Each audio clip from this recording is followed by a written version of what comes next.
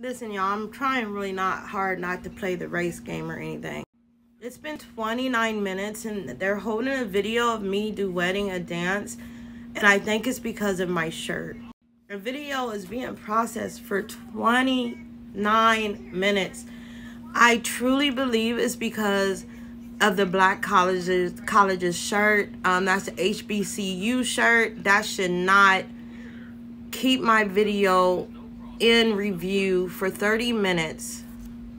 I'm real tired of y'all saying that we be whining or complaining. I have 3 million followers, y'all. My last video was only seen by 896 people. And the one before that, 486. And the one after that, 360. There's a problem here.